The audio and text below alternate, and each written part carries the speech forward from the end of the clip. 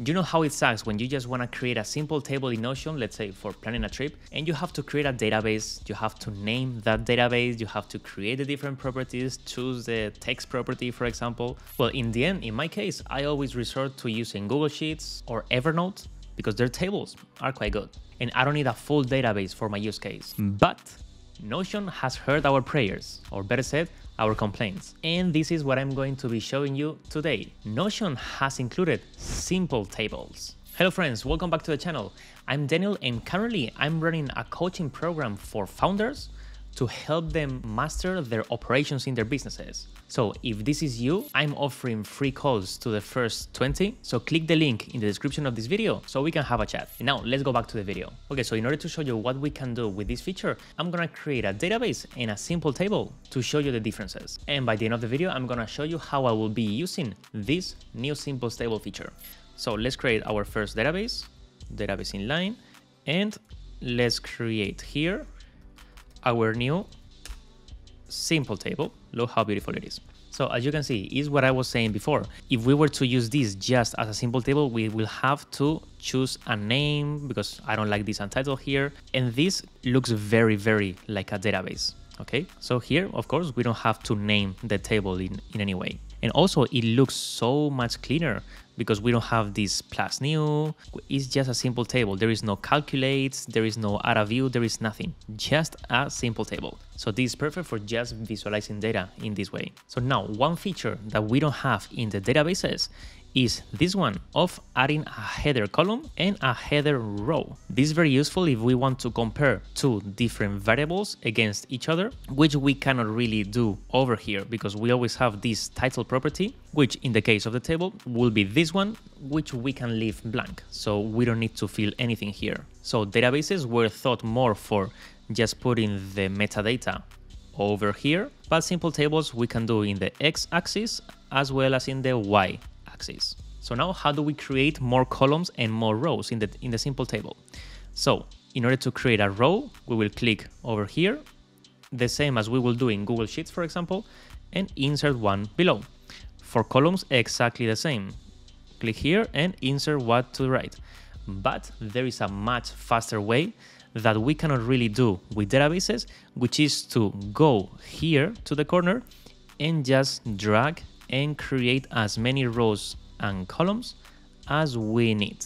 There is also a very cool feature that we don't have in the databases, which is this one over here to fit table to the page width. So when we click over here, the table will spread to occupy the whole space of the table. We will have to do this manually on the database losing a lot of time. Now, of course, all the content in the table is movable. We can drop this row over here and we can also move columns as you will expect. This is basically the same as what we were able to do here, so there is no big change in this. So now one of my favorite things of simple tables is the formatting. With tables, we can format almost everything. Okay, so let me fill some, some data for a use case. So now with the simple tables, we can format the color and the appearance of the text in these headers. So let's say that we want all the days to be red. Now I'm using the, the shortcut to color it. And let's say that we want to color all of these blue. This is something that we will not be able to, to do over here. We cannot format this, this name.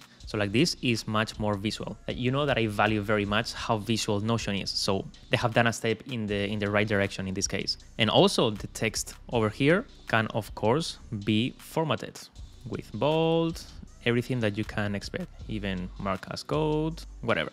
Which in the case of the databases, the text here in the title property cannot be formatted. You see that the pop-up doesn't doesn't appear.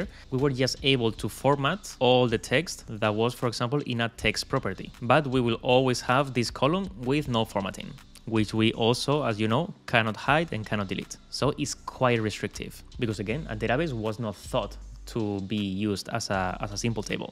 Another thing that I like a lot about simple tables is that the hyperlinks are clickable directly. And what do I mean by this?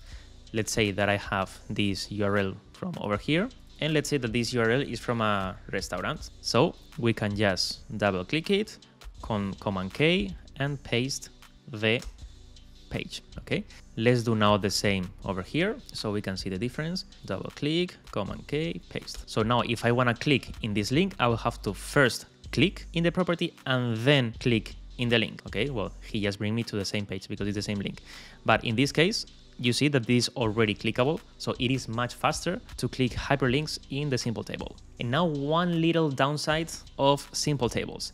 As you can see, if I were to delete all the content of the table, I cannot select more than one cell at the same time. I can just select either rows or columns, but I cannot select multiple columns. But in here, I can. So if I want to delete all the content, I just have to select in the database everything and click delete. But in here, I will have to do it by clearing the content one by one. So I hope Notion adds the possibility to select more than one cell, but at the moment, this is not implemented. So honestly, I prefer how the databases behave in this way. So now how to delete the table, as you will expect, just click in the general six dots because remember that these six dots is just for the row in this case.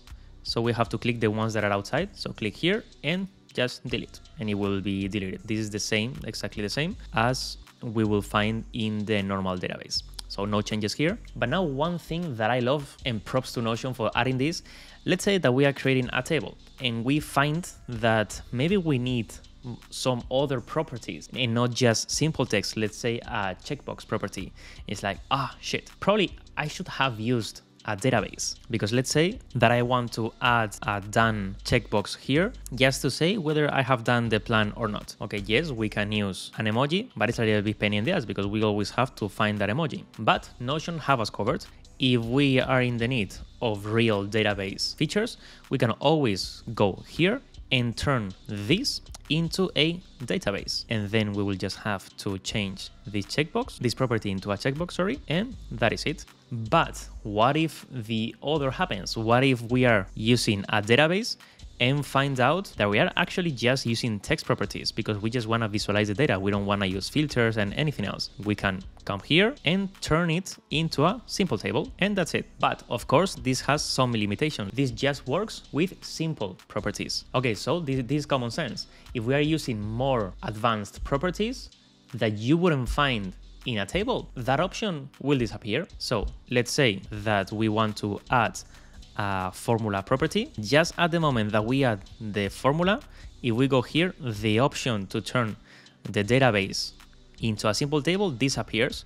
If we delete it, it appears again, okay? So this same happens with the checkbox property, the relations, rollups, and all these advanced properties. But if we have, let's say, a person property and we add myself, we can turn this still into a simple table that will just be changed to a mention of my name and the same will happen with dates. And here I have found a little trick because remember when we in a database had a checkbox that we just wanted to show the checkbox. So we were trying to make this small, but we were not able to make it as small as just the checkbox. So this was kind of ugly. I don't know about you, but for me, this was a pain. So now we have a workaround to fix this and to make this smaller. We'll just have to, let's say, delete this, make this super, super small, and then convert this into a database, you see that this will be kept and we will just have to change the property into a checkbox and that's it. But now be careful because if you make it bigger, that's it. We lost that opportunity, okay? And we'll have to go back to the simple table and do the process all over again. Let's go back. Okay. Now, another good use case that I have found with all of these is that let's say that we have a Google Sheets or our Excel file and that we want to copy the information into Notion. So before we will just copy the text, go to Notion, paste it, and it will be pasted as a database. But now that we have simple tables, we will just have to click these dots, turn into a simple table, and that is it. We will have the information in Notion. So this is a manual, but a very good way to import data from other table-based softwares, such as Google Sheets or Excel. Okay, now let's talk a little bit about the limitations and the things that I didn't really like about this feature. The first one I have already mentioned, we cannot select more than one cell. I personally don't like this. Also, because we cannot select more than one cell, we cannot really merge two cells into one. So let's say that I want to merge all these days into just one. I cannot. So we always have to use the cells as they are. We cannot merge them. Also, I'm a very big keyboard fan, so we cannot create new rows or new columns just with our keyboard.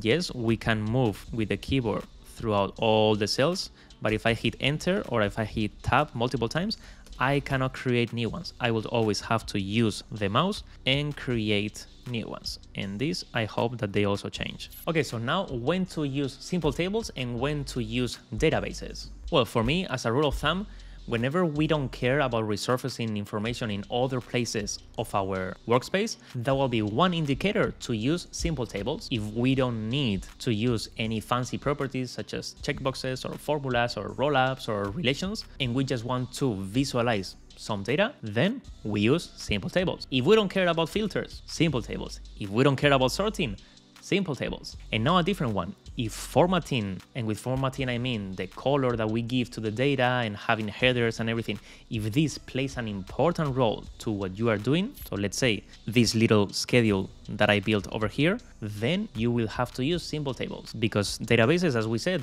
are not as visual as simple tables. And when do we use databases? In all the other use cases. So how am I gonna be using this new feature? The first one, as I have already shown you, for planning trips, I like to plan trips in a table view. In fact, let me go back to my Evernote and you can see how I was planning my trips before, which I love by the way. Just here dates, itinerary, accommodation, cost, and the days over here. So now I will be able to do all of these. In fact, let's try it in real time. Let's see if I can just copy this into Notion. Okay, with Evernote, it doesn't work. Maybe we have to use, yes, Google Sheets or Excel.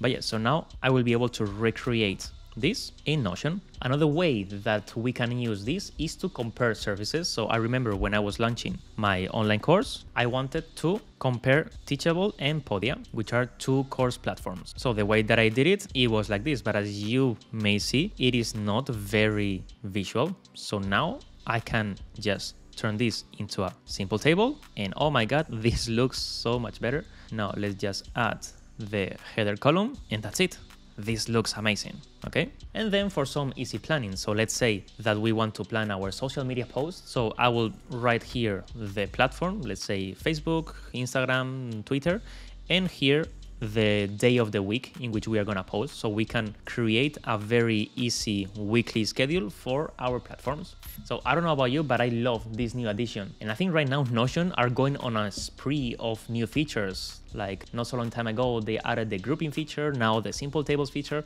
I don't know. I really love how Notion is treating the development of the app. So what do you think? How you are going to be using this new table feature? Are you excited the same way that I am? Tell me everything in the comments because I respond to every single one. So that is it for today, guys. And as always, hasta la próxima.